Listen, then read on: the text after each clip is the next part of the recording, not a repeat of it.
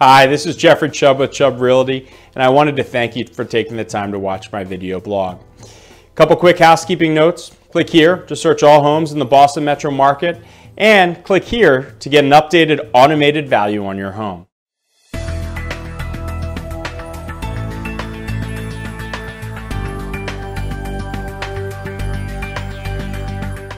From my last video, I had someone reach out and ask, why is it that homeowners are worth 36 times more than renters? So I figured today I'll take a stab at illustrating exactly why homeownership is considered one of the best ways to grow your wealth. Consider this.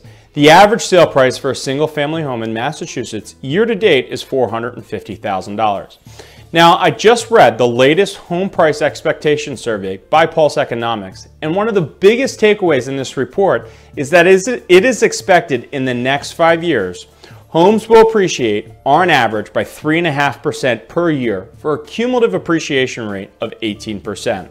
Now, that's a lot of numbers, so let's break it down. If a homeowner purchases a home for $450,000 today, then in five years, it's expected that that same home will be worth $516,000.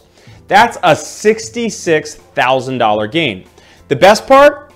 These homeowners will have made this gain by doing absolutely nothing different than the people that rent next door.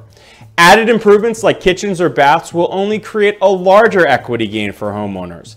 Not to mention, a homeowner has the stability of a locked in mortgage payment and the added benefit of being able to write off interest off their income taxes.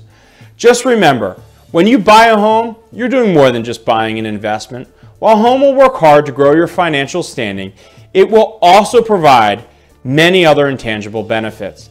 It's important to remember that real estate is local and that market conditions and market appreciations vary from Massachusetts town to Massachusetts town. If you or someone you know are thinking about buying or selling a home, then it would be a true pleasure to sit down and go over the current market conditions as well as create a strategy where working together we can help achieve all of your real estate goals.